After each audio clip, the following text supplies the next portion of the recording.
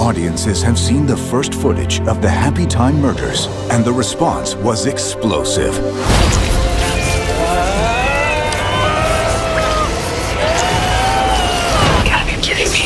I wet myself in anticipation. That's okay. That's even better. Got a good time for you. It can't be unseen.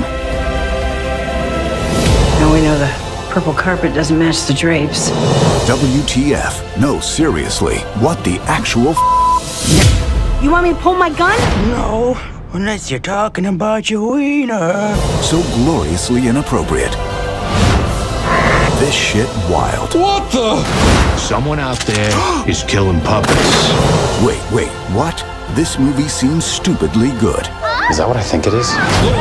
What do you think it is? That is good shit! Well, fuck me! Maybe!